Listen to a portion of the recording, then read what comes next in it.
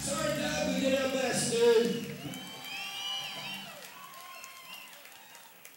We're missing you. A great guy.